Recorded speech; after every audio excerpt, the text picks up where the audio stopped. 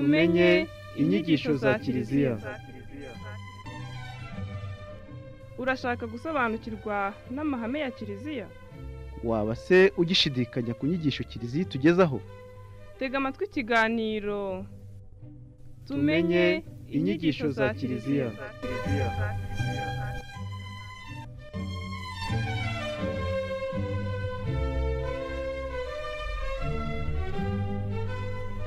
Bavandimwe bakunzi ba radiyo mariya rwanda ijwi rya gikirisitu riguherekeza aho uri hose nimugire amahoro y'imana. Kirisitu yeza akuzwe. Bifurije ikaze mu kiganiro tumenye inyigisho za kiliziya. Mu kiganiro cy'uno munsi turakomeza kwibanda ku ngingo yo guhamya ukwemera kwacu irebana n'itegeko rya gatandatu rigira riti ntuzasambane. Uno munsi turibanda ku gice kirebana n'ubumanzi n'umubano w'abahuje igitsina. Reka dutangire ikiganiro twiyambaza roho mutagatifu tunatega amatwi ijambo ry'imana ryo mu ibaruwa paul ntumwe yandikiye abanyaroma umutwe wa mbere murongo makumyabiri na kane kugeza ku murongo wa makumyabiri na karindwi. Ngwino roho mutagatifu usanganye imitima y'abakwemera bagakunde wohereze roho wawe byose bibe bishya ntizabone guhinduka. Dusabe mana amenyesheje abakwemera roho mutagatifu turagusaba abwirizwa nawe gukunda ibitunganye no kunogerwa nawe iteka ku bwa yezu kirisitu umwami wacu. Bavandimwe bakunzi ba radiyo mariya rwanda mu ibaruwa paul ntumwandikiye abanyaroma umutwe wa mbere murongo makumyabiri na kane kugeza ku murongo makumyabiri na karindwi. Paul ntumwa avuga ibibi bitera soni bitandukanye abantu bigabiza kubera ko banze kumvira imana. Muri ibi byaha rero akavugamo n'abararikira abo bahuje igitsina. Paul ntumwa aragira ati ngiyi impamvu yatumye imana ibagabiza iby'umutima wabo urarikira bakora ibitera soni kugira ngo bihumanye umubiri bo baguranye ukuri kw'imana ikinyoma basenga ikiremwa baranagikorera bahigika rurema nyagusingizwa iteka ryose. Amen.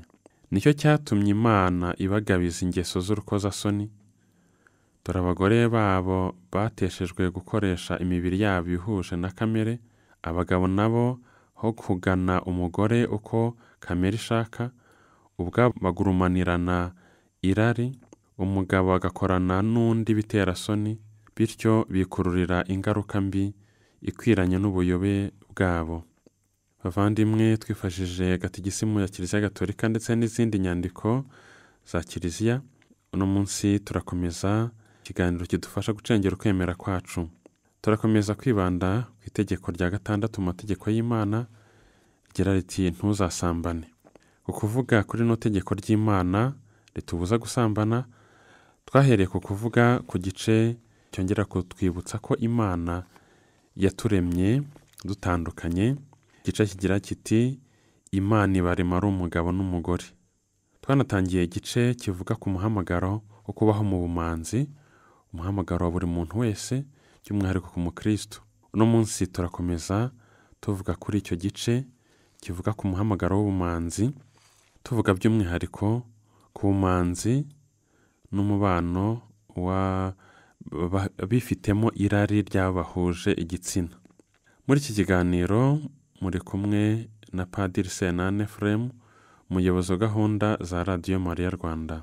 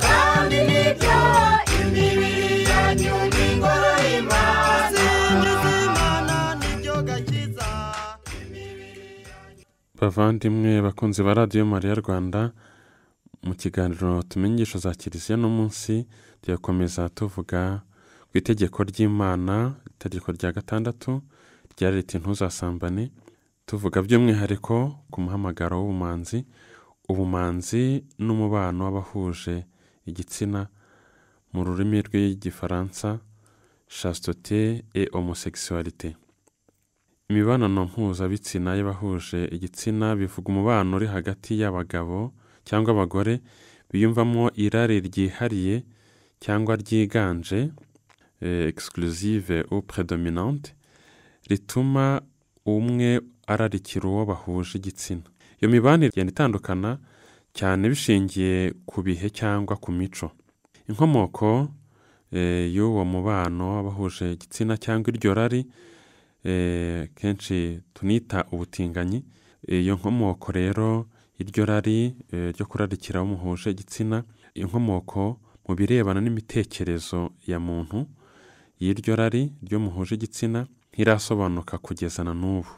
Iyo tuvuga inkomoko mu birebana n'imitekerereze ya muntu mu rurimi rw'igifaransa ni geneze psychique.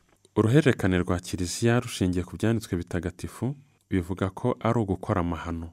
Depravation grave mu gifaransa cyangwa acts of grave depravity mu rurimi rw'icyongereza. Uruhererekane rwa kiliziya rero rushingiye ku byanditswe bitagatifu ntirwahwemye guhamya ko iyo mibanire y'abahuje igitsina ubwayo ari ubukozi bw'ibibi. Koko rero dushobora kwifashisha nk'igitabo cy'intangiriro umutwe wa mbere umurongo wa mbere kugeza ku wa gatandatu ariko inkuru yose umuntu ashobora kugeza ku murongo wa makumyabiri n'icyenda. Umwanditsi mutagatifu avuga iby'irimbuka rya sodoma na gomora avuga by'umwihariko igihe abamarayika bari basuye roti nuko ab'i sodoma bagashaka eh, ko abari abashyitsi ba roti eh, roti yabaha bakabishimishaho. Umwanditsi mutagatifu aragira ati ba bamarayika uko ari babiri bagira isodoma nimugoroba roti yari yicaye ku irembo ry'umujyi roti ngo ababone arahaguruka arabasanganira arapfukama yubika umutwe ku butaka. Nuko aravuga ati ndabinginze ba databuja nimwinjire mu nzu y'umugaragu wanyu mwoge ibirenge murare maze ejo muzazinduke mukomeze urugendo rwanyu. Baramubwira batoya turarara hariya ku irembo. Arakomeza arabahata baremera bagiwe binjira mu nzu.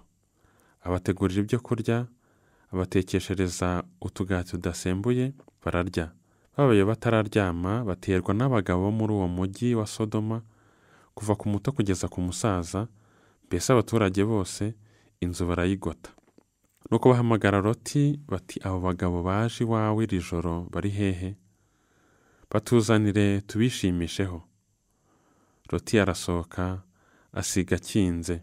Arabwira ati bavandimwe ndabasabye mwikora ishyano. Umwanditsi w'igitabo cy'intangiriro eh, avuga ko ibi ngibyo by'umubano w'abagabo abagabo bashaka kwishimisha ku bandi bagabo ari ishyano eh, ari amahano. Nanone mu ibaruwa paul ntumwandikiye abanyaroma umutwe wa mbere umurongo makumyabiri na kane kugeza ku murongo makumyabiri na karindwi amagambo twahereye mu ntangiriro y'iki kiganiro nabwo paul ntumwa yita uwo mubano ko ari ibiterasoni ko na byo ari amahano. Ibaruwa ya mbere paul ntumwa yandikiye abanyakorenti umutwe wa gatandatu umurongo wa cumi none by'abararikira abo bahuje igitsina abyita ko ari ingeso mbi. Aragira ati mbese ntimuzi ko abadatunganye batazagira umu- umugabane mu ngoma y'imana? Muramenye ntimwishunge. Ari abasambanyi ari abasenga ibigirwamana ari indaya ari abararikirana nyamara bahuje ibitsina ari abakora ingeso mbi bose kimwe n'abajura abanyabugugu abasinzi abasebanya abambuzi abo bose ntibazagira umugabane mu ngoma y'imana. Paul intumwa mu byaha bikomeye eh, avuga avuga ati abakora ibyo ntibahinduke ntabwo bazagira umugabane mu ngoma y'imana avugamo n'abararikirana nyamara bahuje igitsina. Nanone mu ibaruwa ya mbere paul ntumwandikiye timote umutwe wa mbere murongo wa munani kugeza ku wa cumi nanone avugamo ubukozi bw'ibibi nanone aduhamagarira guhinduka ko abo ngabo y'inkozi z'ibibi babangamiye inyigisho y'imana.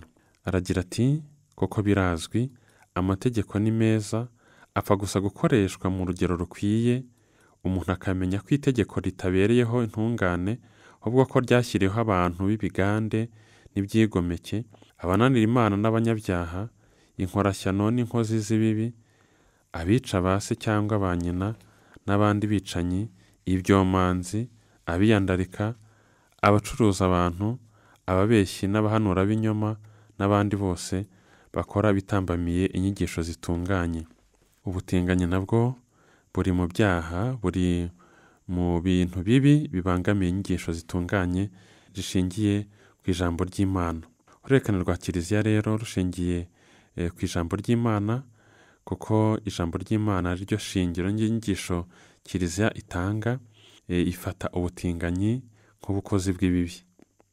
Mu nyandiko yitwa perisona umana yo ku itariki ya makumyabiri n'icyenda ukuboza mwaka w'igihumbi magana cyenda mirongo irindwi na gatanu y'urwego rushinzwe amahame ya kiliziya congregation pour la doctrine de la foi ivuga kuri bimwe mu bibazo birebana n'umubano mpuzabitsina noneho ikanavuga ku byiciro binyuranye by'abantu bifitemo irari kuba bahuje igitsina. Ino nyandiko itandukanya ibyiciro bibiri. Hari abifitemo irari ry'abahuje igitsina bitewe n'uburere bubi bitewe no kudakura ku buryo busanzwe mu birebana n'umubano mbonezabitsina bitewe no kubitozwa bitewe n'ingero mbi cyangwa n'izindi mpamvu zimeze nk'izo by'akanya gato cyangwa bikaba bitanavurwa burundu. Umuntu rero ashobora kugwa muri ubwo bukozi bw'ibibi bwo kuba umutinganyi bitewe n'uburere bubi kuko ibintu byinshi bishingira ku burere umuntu yahawe nanone bishamikiye ku burere atakuze neza mu bireba n'umubano mbonezabitsina ashobora nanone kubitozwa cyangwa agahabwa n'ingero mbi n'izindi mpamvu bikaba noneho byaba iby'akanya gato cyangwa umuntu akahama gutyo bikaba ari burundu icyo gihe umuntu aba abifitemo uruhare. Hari ikindi cyiciro cya kabiri cy'abifitemo irari ry'abahuje igitsina bitewe n'uburyo bavutse cyangwa bitewe n'uburwayi budashobora kuvurwa. Kuri iki cyiciro cya kabiri hariho bumva ko abifitemo irari ry'abahuje igitsina biri muri kamere yabo kandi bakwemererwa gushyingirwa nko kuba hagati y'umugabo n'umugore bihereye ko bumva batakomeza kuba bonyine. Ano magambo reka nayavuge mu rurimi rw'igifaransa kugira ngo dushobore kubyumva neza. Areba n'ibyiciro bibiri by'abantu biyumvamo irari ry'abo bahuje igitsina. Ino nyandiko ya kiliziya y'urwego rushinzwe amahame ya kiliziya congregation pour la doctrine de la foi y'umwaka w'igihumbi magana cyenda mirongo irindwi na gatanu baragira ati faut une distinction et semble-t-il avec raison entre les homosexuels dont la tendance provenant d'une éducation faussée, des manques d'évolution sexuelle normale, d'inhabitudes prises, de mauvais exemples ou d'autres causes analogues et transitoires ou du moins non incurables, et les homosexuels qui sont définitivement tels que tels par une sorte d'instinct inné ou de constitution pathologique jugée incurable. Or, quant à cette seconde catégorie de sujets, certains concluent que leur tendance est à tel point naturelle qu'elle doit être considérée comme justifiant pour eux des relations homosexuelles dans une sincère communion de vie et d'amour analogue au mariage, en tant qu'ils se sentent incapables de supporter une vie solitaire. rero ndetse bemera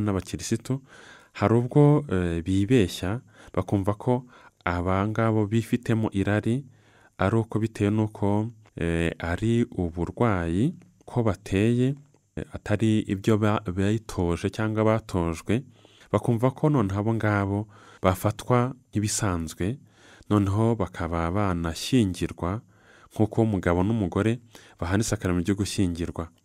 Nyamara ibyo ngibyo ntibihuje n'uko umuntu ateye na kamere muntu. Iyo migenzereze inyuranyije n'itegeko rya kamere kuko ibuza imibonano mpuzabitsina gutanga ubuzima. Imana yaturemye eh, kugira ngo tubane na yo. Barema ari umugabo n'umugore bityo rero umubano w'umugabo n'umugore uba ufite impamvu. Babana ari umugabo n'umugore bagahana isakaro ryo gushyingirwa. Eh, umuhamagaro wabo wa mbere ni urukundo no kunga ubumwe ariko kandi kugira ngo eh, banatange urubyaro. Imibanire nk'iyo ntikomoka ku bwuzuzanye nyakuri iyo mibanire y'abantu bahuje igitsina ntikomoka ku bwuzuzanye nyakuri bw'urukundo n'ubw'ibitsina bityo nta na hamwe yakagombye kwemererwa yagomba kwemerwa cyangwa kwemererwa. Hari umubare utari muto w'abagabo n'abagore biyumvamo iryo rari rikabije ry'abahuje igitsina. Iryo rari ridasobanutse kuri benshi muri bo ni nk'ikigeragezo kuko mu by'ukuri atari bo bahitamo iyo mibereho yo gukururwa n'abo bahuje igitsina Eh, bityo rero bagomba kwakiranwa icyubahiro impuhwe n'urugwiro. Kiliziya n'umuryango w'abana b'imana yakira abantu bose ntawe iheza. Ariko nk'uko imana ikunda umunyabyaha ariko ikanga icyaha niko na kiliziya ikunda abantu bose n'abanyantege nke eh, n'abanyabyaha. Ariko ntabwo ishyigikira icyaha ntabwo yaha umugisha icyaha. Ni ngombwa kwirinda akarengane ako ari ko kose katuma abo ngabo biyumvamo irari ry'abahuje igitsina bahabwa akato. Abo bantu bahamagariwe kurangiza ugushaka kw'imana mu buzima bwabo gukora gukurikiza no gukora ugushaka kw'imana mu buzima bwabo kandi birashoboka niba ari abakristo guhuza ingorane bashobora guhura na zo mu mibereho yabo zituruka ku buryo bateye n'igitambo cy'umusaraba wa kristo. Twese by'umwihariko abakristo duhamagariwe kubaho mu bumanzi. By'umwihariko ni abo ngabo biyumvamo irari ry'abahuje igitsina eh, kandi bitewe atari uko ah, ibyo bitoje cyangwa batojwe nabo bahamagariwe kubaho mu bumanzi bagahuza eh, ingorane bahura na zo mu mibereho yabo zituruka ku buryo bateye kabihuza n'igitambo cy'umusaraba wa kristo. Abantu bakururwa n'abo bahuje igitsina bahamagariwe kurangwa n'ubumanzi. Kuko imigenzo myiza yo kumenya kwifata ariyo irera ubwigenge bw'umutima babifashwemo rimwe na rimwe n'ubucuti buzira kwironda no kubw'isengesho n'ingabire y'amasakaramentu bagomba gutera intambwe buhoro buhoro mu rugendo rwa gikristo rwo kwitagatifuza. Imibiri yanyu n'ingoro y'imana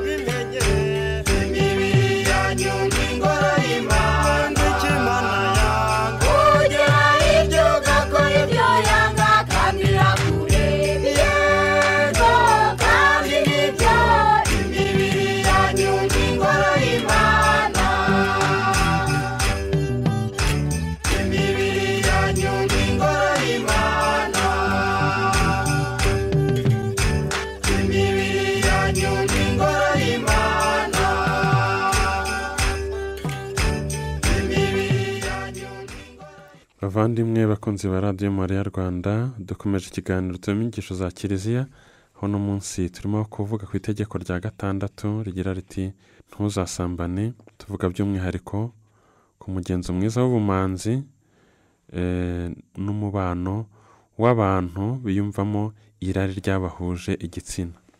Bavandimwe nk'uko twabisubiyemo ko icyo kibazo cy'abantu biyumvamo irari ry'abahuje igitsina atari ikibazo cya none gusa cyo muri iki gihe. Duhereye byanditswe bitagatifu twumvise ko guhera mu gitabo cy'intangiriro eh, hari ubwo bukozi bw'ibibi ndetse no mu ntangiriro za kiliziya paul intumwa twumvise abyamagana ko ari ubukozi bw'ibibi ariko by'umwihariko mu myaka ya vuba twavuga nko mu kinyejana mu kinyejana cya makumyabiri ndetse no mu kinyejana cya makumyabiri na rimwe hari abantu benshi bakomeje kwibaza ku birebana no kuba aba bana bahuje igitsina kiliziya yakwemera kubaha umugisha.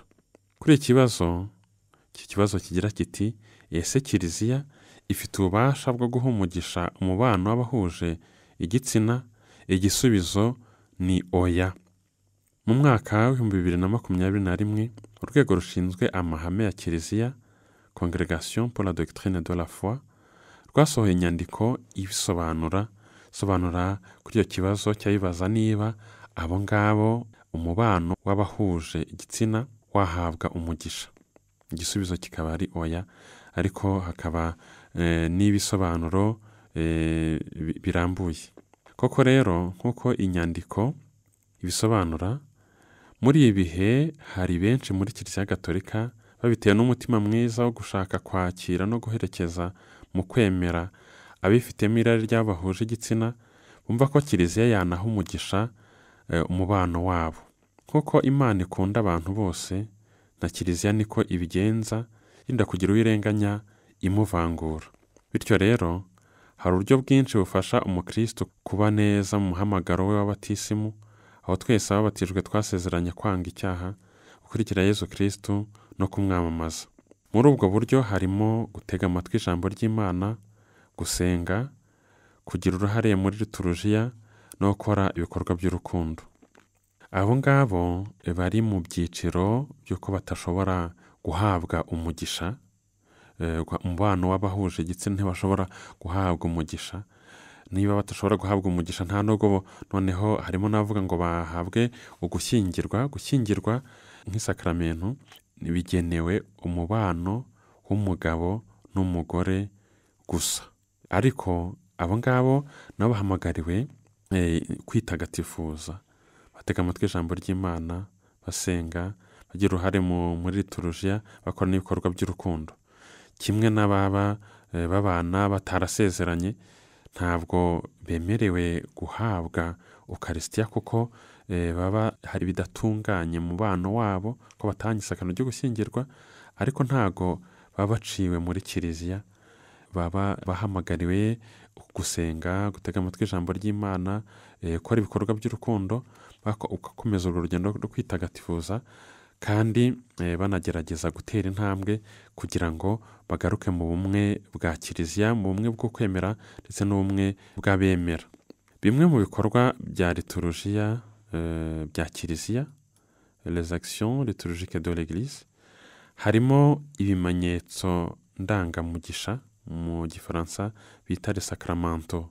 Hari amasakaramentu amasakaramentu uko ari arindwi ariko hakaba sacrements hakaba noneho eh, na les sacramento. Mu kinyarwanda twagenekereza tukavuga ko ari ibimenyetso ndangamugisha muri byo hakabamo gutanga umugisha imigisha itandukanye ndetse no kwirukana roho mbi. Benediction et exorcisme eh, font partie des sacramento nk'uko gatigisimu ya kiliziya gatolika bisobanura neza ibimenyetso ndangamugisha ni ibimenyetso bitagatifu bitangirwamo imigisha ifasha roho cyane cyane igatangwa bikeshejwe isengesho rya kiliziya mbese nk'uko bigenda mu masakaramentu ku bw'ibyo bimenyetso ndangamugisha abantu bakira ingabire z'ingenzi y'amasakaramentu kandi n'ibihe bitandukanye by'ubuzima bwabo bigatagatifuzwa ibimenyetso ndangamugisha nko gutanga umugisha ntibitanga ingabire ya roho mutagatifu kimwe n'amasakaramentu ariko ku bw'isengesho rya kiliziya ibyo bimenyetso bitegurira abantu kwakira iyo ngabire no kuyigiramo uruhare. Urugero hari ukubatizwa ni isakaramentu ariko noneho hari no guhabwa umugisha umugisha w'amazi.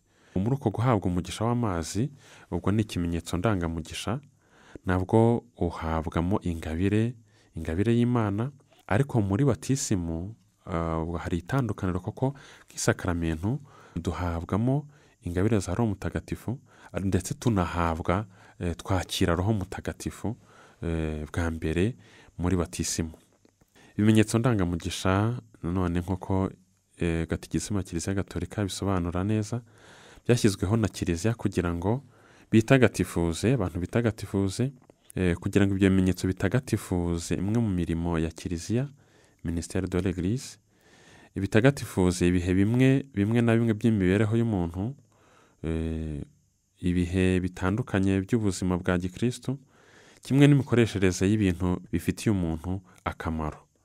Habaho imigisha itandukanye kumugisha umuntu kumugisha inzu urugo eh, kumugisha umugisha w'ababyeyi umugisha w'abana umugisha w'umugore utwite umugisha uwihaye imana eh, umugisha w'imyaka umugisha w'amatungo umugisha w'ibikoresho bitandukanye. Ibyo byose biradufasha mu kwakira ibyiza by'imana. Hakurikijwe ibyemezo by'ikenurabushyo by'abashumba ibimenyetso ndangamugisha bishobora no kuba igisubizo ku byo umuryango w'abakirisitu mu karere kanaka cyangwa mu gihe runaka bakeneye bikaba n'igisubizo ku muco no ku mateka byabo bwite. Ibimenyetso ndangamugisha bigizwe iteka n'isengesho rijyana kenshi n'ikimenyetso cyabigenewe nko kuramburirwaho ibiganza kugirirwaho ikimenyetso cy'umusaraba guterwa amazi y'umugisha amazi y'umugisha akenshi atwibutsa abatisimu n'ibindi. Rero mu bimenyetso ndangamugisha harimo imigisha imigisha itandukanye nk'uko twavugaga rero ku mubano w'abantu biyumvamo irari iyo bahuje igitsina harimo abumva ko kiliziya abo ngabo babana kandi bahuje igitsina kiliziya yabaha umugisha ni byo tugiye gukomeza dusobanura nk'uko twabivuze kandi igisubizo akaba ari oya kiliziya idashobora guha umugisha umubano w'ababana bahuje igitsina.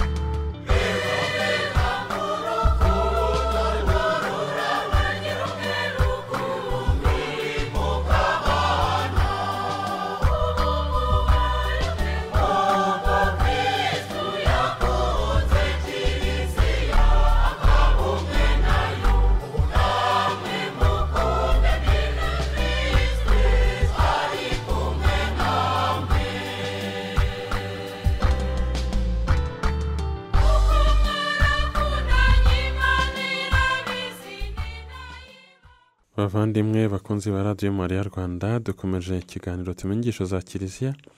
Uno munsi turimo kuvuga ku itegeko rya gatandatu rigira riti ntuzasambane. Twibanda ku kuvuga ku mugenzo mwiza w'ubumanzi n'umubano w'abiyumvamo irari ry'abo bahuje igitsina. Mu bimenyetso bimwe mu bikorwa bya liturujiya harimo ibimenyetso ndangamugisha. Noneho muri ibyo bimenyetso ndangamugisha harimo imigisha itandukanye.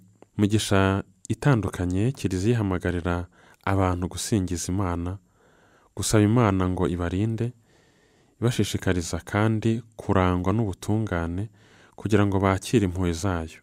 Kubera ko imigisha ifitanye isano ya hafi n'amasakaramentu itanga ibyiza bifasha roho ya muntu nk'uko kiliziya ibisaba. Kubera iyo mpamvu y'isano iri hagati y'imigisha n'amasakaramentu ni ngombwa ko iyo umugisha usabirwa umubano w'abantu uretse icyifuzo kigororotse cyangwa umutima ukeye mu gifaransa bita intensiyo droite uretse icyifuzo eh, kigororotse cy'abagira uruhare muri icyo gikorwa igisabirwa umugisha kigomba kuba gikwiye kwakira inema bijyanye n'umugambi w'imana umuremyi nk'uko twabihishuriwe byuzuye na yezu kirisito kiliziya iha umugisha gusa ibijyanye n'umugambi w'imana. Ugereranye n'umu- n'umubano mu bantu umubano w'abashakanye kiliziya iha umugisha umubano w'umugabo n'umugore eh, bahanye isakano ryo gushyingirwa cyangwa bagiye guhana isakano eh, bahanye isakano ryo gushyingirwa kuko eh, nk'uko turi bugarukeho n'imana nyine yahaye umugisha eh, umugabo n'umugore eh, kuko bihuje n'umugambi w'imana mu kurema. Umubano w'umugabo n'umugore bahanye isakano ryo gushyingirwa ni ikimenyetso gitagatifu gishushanya urukundo imana ikunda abantu. Naho umubano w'abahuje igitsina ntago uwo mubano uri mu mugambi w'imana nk'uko yezu kirisito yabiduhishuriye byuzuye. Bityo rero ntibyemewe na busa guha umugisha umubano w'umugabo n'umugore n'iyo baba bamaranye igihe babana bataraharanye isakaramo ryo gushyingirwa. Ku birebana n'umubano w'umugabo n'umugore kiliziya iha gusa umugisha abahanye isakaramo ryo gushyingirwa bunze ubumwe bw'indatana kandi umubano wabo ukaba unagamije gutanga urubyaro. Ntibishoboka rero ko kiliziya yaha umugisha umubano w'abahuje igitsina kuko bitari mu mugambi bidahuje n'umugambi w'imana. Imana yabaremye ari umugabo n'umugore. Abakiriye uwo muhamagaro rero baba ari ikimenyetso cy'urukundo imana ikunda abantu. Baba ari ikimenyetso cy'urukundo kirisita akunda kiliziya. Kirisita akaba umukwe kiliziya ikaba umugeni. Kuko umugisha w'abantu wegeranye cyane n'amasakaramentu umubano w'ababana bahuje igitsina ntushobora guhabwa umugisha na kiliziya gatolika. Ibi bibaye byaba ari ugusanisha umubano w'abahuje igitsina n'umubano w'umugabo n'umugore bahanye isakano ryo gushyingirwa kandi eh, birahabanye cyane. Koko rero umugisha w'umubano w'umugabo n'umugore bahanye isakano ryo gushyingirwa wibutsa umugisha imana yahaye umugabo n'umugore. Mu gitabo cy'intangiriro umutwe wa mbere murongo makumyabiri n'umunani umwanditsi mutagatifu aragira ati imana ibaha umugisha irababwira iti nimwororoke mugwire mukwire isi yose muyitegeke. Mugenge ifi zo mu nyanja n'ibiguruka byo mu kirere n'ikizima cyose cyikurura ku butaka. Nanone mu gitabo cy'intangiriro umutwe wa kabiri murongo cumi n'umunani kugeza ku makumyabiri na kane umwanditsi mutagatifu aragira ati ni uko uhoraho imana aravuga ati si byiza ko muntu aba wenyine ngiye kumugenera umufasha bakwiranye uhoraho imana abumba mu gitaka inyamaswa zose zo mu ishyamba n'inyoni zose zo mu kirere azizanira muntu ngo arebe ko muntu azita amazina maze ikinyabuzima cyose kigira izina cyiswe nawe muntu yita amazina ibitungwa byose n'inyoni zose zo mu kirere n'inyamaswa zose zo mu ishyamba ariko muntu ntiyabonamo umufasha bakwiranye nuko uhoraho imana atera muntu gusinzira ibitotsi bikomeye arasinzira afata rumwe mu mbavu ze maze asubiranya umubiri. Urwo rubavu uhoraho imana avanye mu mugabo akoramo umugore umugore amushyira umugabo. Umugabo ariyamira aravuga ati noneho dore igufwa ryo mu magufwa yanjye n'umubiri uvuye mu mubiri wanjye uyu azitwa umugore kuko umugabo ariho avuye. Nicyo gituma umugabo asiga se na nyina akizirika ku mugore we bakaba umubiri umwe. Ano magambo arongera kutwibutsa ko umubano w'umugabo n'umugore nk'isakaramentu umubano uturuka ku mana imana yabahaye umugisha kandi mu byo umubano ugamije kamuko kubana mu rukundo ariko no gutanga ubuzima no gutanga urubyaro. Binyuranye rero n'abatekereza ko umubano w'abahuje igitsina nawo wahabwa umugisha kandi uwo mugisha ugenewe gusa umugabo n'umugore bahanye isakaramentu ryo gushyingirwa tugana ku musozo ikiganiro cy'uno munsi tunavuge ko mu rwandiko rusoza sinodi urwandiko ruvuga ku byishimo by'urukundo mu rurimi rw'ikilatini amoris letitia urwo rwandiko rukaba ruvuga ku birebana n'urukundo rw'umuryango urwandiko rw'umwaka w'ibihumbi bibiri na cumi na gatandatu rw'ubutungane pa francisco atsindagira ko umubano w'abahuje igitsina ntaho uhuriye n'umubano w'umugabo n'umugore bahanye isakano ryo gushyingirwa. Muri rwandiko baragira bati igihe bajyaga impaka zerekeranye n'agaciro n'ubutumwa bw'umuryango abari muri sinodi bagaragaje ko ku byerekeye umushinga wo gushaka kwitiranya ugushyingirwa no kubana kw'abahuje igitsina nta shingiro na rimwe ryo kubyitiranya cyangwa kuvuga ko bijya gusa no mu buryo bwa kure cyane hagati y'ukubana kw'abahuje igitsina n'umugambi w'imana ku bireba ugushyingirwa n'umuryango. Ntidushobora kwemera ko za kiliziya zo mu bihugu bitandukanye zishyirwaho igitutu muri urwo rwego ndetse ko imiryango mpuzamahanga y'imfashanyo yo mu rwego rw'ubukungu ibihugu bikennye ari uko bimaze gushyiraho amategeko yemeza ugushyingirwa hagati y'abahuje igitsina.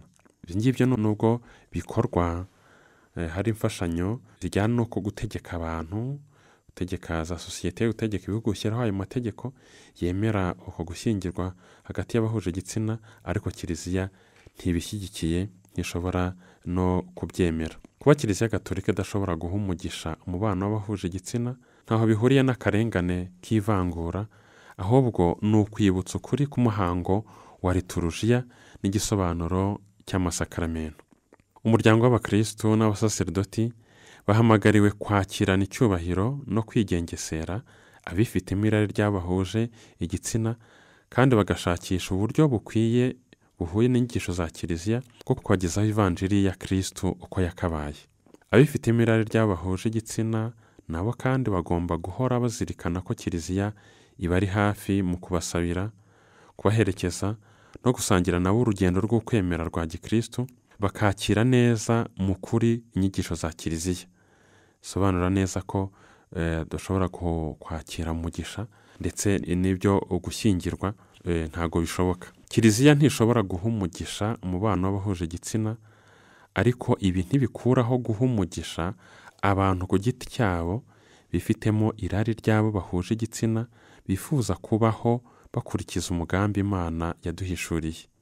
Hari ugutandukanya abantu by'umwihariko abo ngabo bisanga ariko biyumvamo iryo rari ry'abahuje igitsina nta ruhare babifitemo niyo baba babifitemo uruhare ariko abo ngabo umuntu ku giti cye wifitemo icyo kibazo bifitemo iryo rari ry'uwo bahuje igitsina. Uwo nguwo ntabwo bibujijwe kiliziya mu kumuha umugisha by'umwihariko asaba umugisha anasaba kugira ngo atere intambwe yo guhinduka ni umuntu ku giti cye. Ariko ntabwo kiliziya ishobora guha umubano wabo w'abahuje igitsina. Hari uko gutandukanya umuntu ku giti cye wiyumvamo iryo rari noneho n'umubano w'abahuje igitsina. Kiliziya yibutsa ko imana ihora iha umugisha abana bayo bari mu rugendo hano ku isi kandi ko umuntu asumbye kure ibyaha byose ashobora gukora. Nyamara imana ntiha umugisha icyaha. Ahubwo iha umugisha umunyabyaha imwibutsa ko imukunda kandi imuhamagarira guhinduka. Koko rero imana idufata uko turi ariko ntitureka uko turi. Ayo ni amagambo ya nyir'ubutungane pa francisco kuko turi abanyabyaha iradukunda ariko ntabwo ikunda icyaha yanga icyaha. Ntabwo kandi idukunda muri uko nguko muri ibyo byaha byacu ahubwo idukunda urwo rukundo tureshya ruduhamagarira guhinduka. Kubera izo mpamvu zose zavuzwe kiliziya nta bubasha ifite ntishobora no kugira ubwo bubasha bwo guha umugisha umubano w'abahuje igitsina nk'uko byasobanuwe.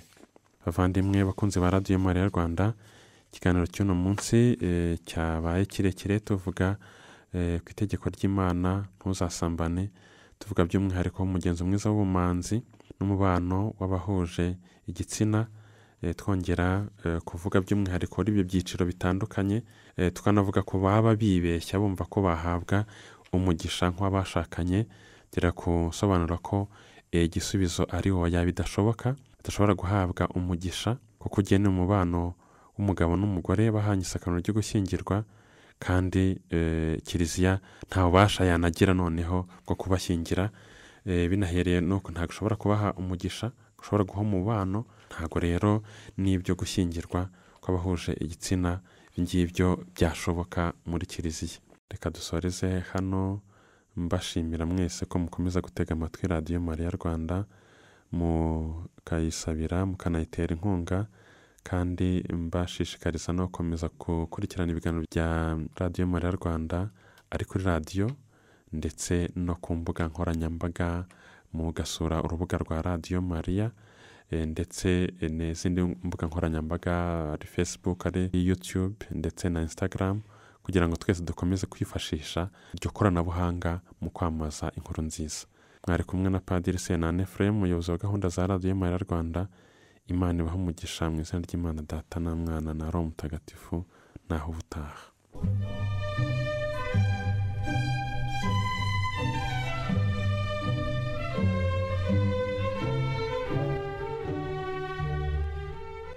Tumenye inyigisho za kiliziya. Urashaka gusobanukirwa n'amahame ya kiliziya? Waba se ugishidikanya ku nyigisho kiliziya itugezaho tega amatwi ikiganiro Tumenye inyigisho za Kiliziya.